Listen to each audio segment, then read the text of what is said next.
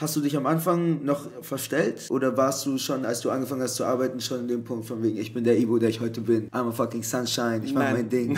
Sondern warst du noch so, okay, ich fange hier in der Bank an, keiner muss was von meinem privaten Scheiß wissen. Und ich, Genau so. so Damals war ich noch vielleicht ein bisschen zurückhaltender. Also ich bin eigentlich noch offener, als ich jetzt vielleicht auch sogar hier bin. Ich bin Ja. jetzt wirklich jemand, ich bin sehr, ich mag es aktiv zu sein, ich mag es zu machen, ich mag es zu leben. Also ich denke einfach, weil ich so viel erlebt habe, das Leben ist zu kurz, jeden eigenen Au- Augenblick genießen und leben. Naja, sorry, ich stre- schweife wieder ab.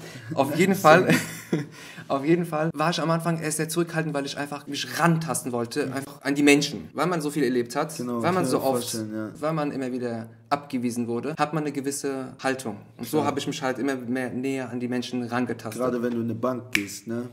Wo ich dachte, okay, wo ich dachte, ich unterstreiche, dachte, konservativ, Stock im, ich weiß Ja. gar nicht, welche Begriffe ich überhaupt hier sagen darf und welche nicht, welche, äh, einfach cutten oder so, gell? Auf jeden Fall. Stock äh, hat jeder verstanden, glaube ich. aber das war, das war nicht der Fall. Das war Ja? wirklich nicht der Fall. Krass. Also wegen meiner Homosexualität habe ich bis dato nicht einmal eine negative Erfahrung gemacht. Bis heute? Nicht einmal.